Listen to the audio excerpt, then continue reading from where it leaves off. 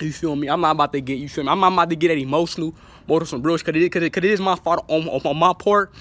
But this, you know this jacket right here that I